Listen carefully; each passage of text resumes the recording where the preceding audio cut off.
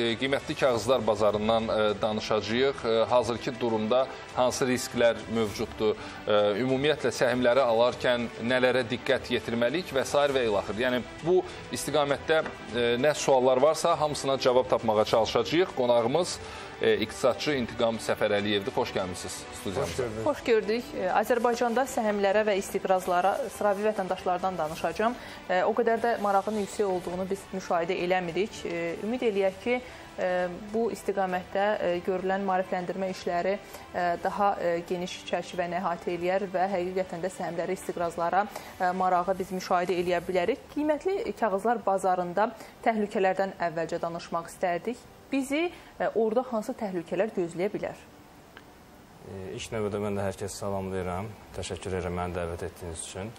E, ən əhəmiyyətli təhlükələrdən biri düzgün tərəfdaş seçməkdir. Yəni ki, sizi kapital bazarına çıxardacaq investisiya şirkətini, broker şirkətini düzgün seçməkdir. Və bu şirkət lisenziyaya malik, e, müəyyən reputasiyaya malik bir şirkət olmalıdır ki, sizin vəsaitinizin təhlükəsiz formada yerləşdirilməsinə vasitəçilik edə bilsin. İkinci əsas məqam ondan ibarətdir ki, istənilən investisiya dünyanın e, siyasi, iqtisadi böhranlarına birbaşa, e, yəni ki, oradan birbaşa təsirlənir. Təsirlən, e, oradan birbaşa təsirlənir, bəli. Yəni siz e, bunu təhlükə kimi qəbul etməlisiniz və e, ümumiyyətlə e, insanlar investisiya edən zaman səhmlərə də hansı səhmi seçmənizdən asılı olmayaraq, yəni ki, e, hərbi, siyasi, iqtisadi vəziyyətin dəyişikliyini siz mütləq təhlükə kimi nəzərdə saxlamalısınız. E, bu ən böyük təhlükələrdən biridir. Aydındır. Bəs e, xarici səhm bazarından danışsaq, e, xarici səhm bazarlarında e, hansı hallarda itirmiş hesab olunur e, və ya itirmiş hesab olunuruq? E, bilirsiniz, ümumiyyətlə xarici səhm bazarları çox likvid olduğuna görə və iştirakçısının sayı çox olduğuna görə E, orada investisiya edən zaman siz e, mütləq şəkildə e, nəyə əsaslanıb investisiya etdiyinizi bilməlisiniz. Yəni, təsadüfən qazanırsınızsa, təsadüfən də itirəsiniz.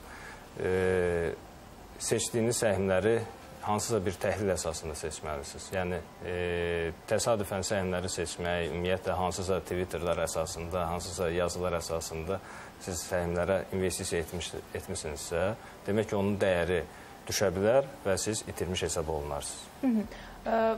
Tam olaraq bütün vətəndaşlarımız, tamaşaçılarımız anlasın deyə istəyirəm bu suala cavab tapaq ki, məsələn, mən səhm almaq istəyirəm, bir miqdar pulum var, vəsaitim var. Ardıcılıq olaraq nələri etməliyəm və seçim edərkən nələrə daha çox diqqət yetirməliyəm ki, sabah mən uduzmayım, itirməyim? İlk növbədə bir investisiya şirkəti seçməlisiniz özünüzə e, və çalışmalısınız ki, bu daimi tərəfdaşlıq edə biləcəyiniz bir şirkət olsun. Müştəri bazasına baxmalısınız, əməliyyatların həcminə baxmalısınız, kapitallaşmasına baxmalısınız. Yüksək rəqəmləri müşahidə etməliyəm orada, Bəli, yoxsa necə? E, da, həmişə yüksək rəqəm, yüksək nəticə demək deyil. E, amma dayanıqlı bir şirkət olması gərəkir. E, sabit bir şirkət olması lazımdır. Audit hesabatlarına bir baxmanız lazımdır ki, ümumiyyətlə hansı fəaliyyətdən vəsait qazanırlar. Auditə hansı şirkətdir, əgər Big Four-dur, yoxsa digər şirkətlərdir. Audit hesabatlarını kifayət qədər şirkətlər paylaşırlarmı? İnvestisiya şirkətləri paylaşmaq məcburiyyətindədir. Bakı birjasının saytında siz onu rahatlıqla tapa bilərsiniz. Bir analiz keçəndən sonra seçirsiniz, tutaq ki, bir, iki şirkətlə yəni ki, görüşürsünüz və görüş əsnasında o şirkətin sizə hansı xidməti necə təklif etdiyini müəyyənləşdirirsiniz. Adətən Azərbaycan investisiya şirkətləri xarici bazarlara, xarici investisiya şirkətləri vasitəsilə çıxırlar. Onlar müvafiq infrastrukturu Azərbaycana artıq gətiriblər. Sadəcə siz o infrastrukturun iştirakçısı olmaq üçün bir tərəfdaş özünüzə seçməlisiniz. O, o infrastrukturun iştirakçıları Azərbaycanda çoxdur? Var, kifayət qədərdir. E, mən hesab edirəm ki, bu dolarlaşma e, prosesindən sonra ümumiyyətlə pandemiya ərəfəsində bütün dünyada olduğu kimi Azərbaycanda da xarici bazara investisiya etmək istəyənlər, maraqlananlar artdı. Bunların bir çoxu real addımlar atdı, investisiyalar etdilər. Amma bəziləri isə hələ də investisiya etməyiblər, hələ də fikirləşirlər, düşünürlər bu barədə. Fikirləşməyə dəyər, yoxsa investisiya etmək mütləqdir? Mən düşünürəm, maliyyə savadlığının azlığından onlar addım ata bilmirlər. Yəni ki, qərar qəbul eləmək, e, istiqamətinə addım ata bilmirlər. Yəni Demək ki, maarifləndirməyə ehtiyac var bəli, burada. Mütləq şəkildə. Hansı işlər görülməlidir? E, hansı işlər görülməlidir? E, yəni ümumiyyətlə bu barədə informasiya yayılmalıdır. insanların özlərindən də asılıdır. Yəni ki, maraqlanmalıdırlar, axtarmalıdırlar, tapmalıdırlar. Bir çox tələblər var, kurslar e, tələb edir insanlar. Yəni ki, bir çox insanlar kurslar vasitəsilə bu işi öyrənəcəyini düşünür. Ancaq biz adətən tövsiyə edirik ki, ümumiyyətlə birinci addımı atsınlar, hesabı açsınlar. Məsəl üçün, dünyada təcrübə olunmuş ən yaxşı təcrübə var. Bu, menecment xidməti dediyimiz fərdi investorun portfelin idarə olması xidmətidir. İnvestisiya şirkətləri bu xidmət vasitəsilə sizin e, pulunuzu idarə edirlər və siz müşahidə edirsiniz. Və o müşahidə nəticəsində siz artıq öyrənirsiniz ki, e, professional bir şəxs, peşəkar bir şəxs vəsaiti necə idarə edir. Və sonra siz özünüz üçün aydınlaşdırırsınız ki, bu iş ümumiyyətlə sizin bacaracağınız bir işdir, yoxsa bacaracağınız bir iş deyil. Ümumiyyətlə ə, öyrənəndə də, tam mükəmməl səviyyədə də biləndə ə, hansısa risklər yenə də mövcud olur. Gəlin bu ə, risklərdən danışaq. Yerli bazardan da danışa bilərik. Xarici səhim bazarında da bizi hansı risklər gözləyir? Bu istiqamətdə də söhbət eləyə bilərik. Sizə hansı daha yaxındır ə, və hansı daha aktualdırsa gəlin ondan danışaq. Hansı risklər bizi gözləyir? E, Gəlin, beynəlxalq bazar daha oturuşmuş bir bazar olduğuna görə, yəni ki, orada nümunə çəkə biləcəyimiz e, daha çox nümunə var. Ona görə istəyərdim o barədə danışım. Danışın. Xarici bazardan, e, biz e, xarici səhmlərdən danışırıqsa hə. əgər, e, mən niyə etibar etməliyəm? Və niyə məsələn onların səhmlərini almalıyım? Siz az əvvəl investisiya şirkəti barədə danışdınız. Düzdür, o yerli bazardakı şirkətlərdən söhbət gedir ki, e, mən məsələn baxıram ki, onlar mənim e, pulumu, səhmimi necə idarə edirlər, daha sonra artıq bir qərar da verə bilərəm.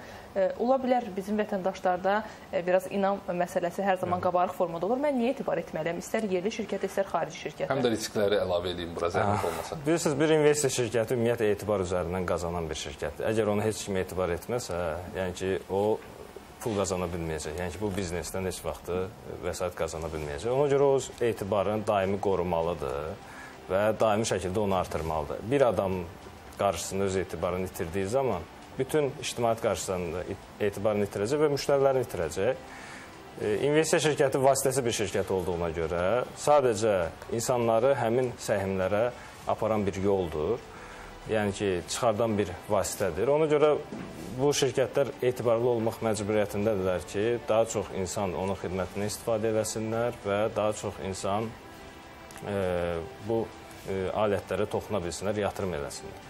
Səhmlərin özü isə ümumiyyətlə nəyə görə, yəni ki, siz səhmlərə investisiya etməlisiniz düşüncəsindən biz e, danışdıq. Səhim bir şirkətin sahibi olmaq deməkdir. Yəni səhm sahibi olmaq, Orada bir şirkətin mülkiyyətçisi olmaq deməkdir. Şirkət o demək ki, şirkət pul qazanan bir, e, deyək ki, vasitədir. Bir şirkət fəaliyyət göstərirsə, onun marağı pul qazanmaqdır.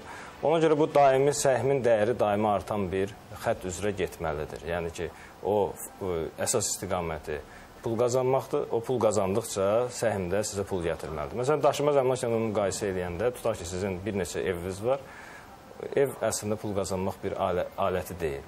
Nəyə görə? Çünki o mənəvi qocalır, o e, müəyyən bir müddət ərzində deyək ki, e, onun təmiri e, aktual olmur. Amma şirkət böyüyür. Amma şirkət böyümək məcburiyyətindədir, pul qazanmaq məcburiyyətindədir və dividend ödəmək məcburiyyətindədir. Hı -hı. Əgər bunu etməzsə şirkət, onun da səhmlərini heç kim almayacaq. Orada çalışan, e, deyək ki, menecerlər də yüksək maaşlar ala bilməyəcək. Yəni ki, şirkət başlayanda öz fəaliyyətinə onun son məqsədi daha çox pul qazanmaq, daha tez böyümək, daha sürətlə hərəkət etməkdir. İntiqam bəy, e, mən bir neçə insanla bununla bağlı e, həm söhbət olmuşam, səhmlərlə, istiqrazların alışı ilə bağlı. Baxım görüm maraqları var yoxsa yox. Sanki insanlarda belə bir təfəkkür var ki, bunun üçün sənin çox pulun olmalıdır ki, sən riskləri diversifikasiya etmək üçün hə, həm səhmlərə yatırım eləyəsən, həm qızıl alasan, həm dollar alasan. Bu düşüncə mənə elə gəlir ki, təkcə Azərbaycanda var. Məsələn, xarici ölkələrdə elə qonşu Türkiyədə götürək, e, orta məbləğli gəlir gəlirləri olan şəxslər də səhm alışında kifayət qədər aktiv iştirak edirlər. Doğru buyurursunuz. Sadəcə burada belə deyək də yığım formasında, yəni hər bir insan hardansa başlamalıdır investisiya eləməyə. Çünki biz yaşlı vaxtımıza hazırlaşırıq və həmin vaxt investisiyalarımızı xərcləməklə deyək ki, öz həyatımızı təmin etməyi düşünürük. Ona görə də yəni ki, hər bir insan hardansa başlamalıdır. Azərbaycanda da yəni ki, bizə müraciətlər olur. 100 manatla, 200 manatla başlamaq istəyən insanlar var. Sadəcə bunlar komissiya nöqteyi nəzərindən, vaxt sərf etmək nöqteyi nəzərindən effektiv deyil. Amma yenə həmin insanlar e, deyək ki, yoxlamaq məqsədi ilə, toxunmaq məqsədi ilə bu prosesə girməlidirlər. E, və hətta orada onların şəxsi yanaşmaları da formalaşa bilər və şəxsi analitikalarında orada istifadə edə bilərlər. Yerli şirkətlər xarici təcrübədən nələri öyrənməlidirlər? Yerli şirkətlər siz nəzərdə tutursunuz səhmdar cəmiyyətləri yoxsa investisiya şirkətləri? İnvestisiya şirkətləri. İnvestisiya şirkətləri. İnvestisiya şirkətləri demək olar ki, xarici təcrübədən e, maksimum həcmdə faydalanırlar. Lakin bizim bu maliyyə savadlığı istiqamətində aparmalı olduğumuz işlər çoxdur.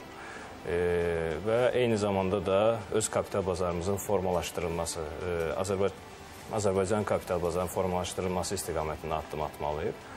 E, düşünürəm ki, e, kapital bazarları haqqında, e, qiymət yazı bazarı haqqında qanun 2016-cı ildən qəbul olunub və biz bir inkişaf yolu keçiririk. Siz də müşahidə edirsiniz yəqin ki, e, investisiya şirkətləri açılır gündən-günə. Yəni ki, ən azı ildə 1-2 investisiya şirkəti açılır. Bunlar hamısı inkişafa doğru gedən proseslərdir. Lakin e, tək investisiya şirkətlərinin asılı bir proses deyil e, investorlar insanların özlərində yanaşması olmalıdır. E, yəni kim investisiya edirsə o qazanır. Bu prinsipi gəl e, insanlar dərk etməlidir ki, yəni ki mən özüm investisiya edirəmsə mən qazanıram.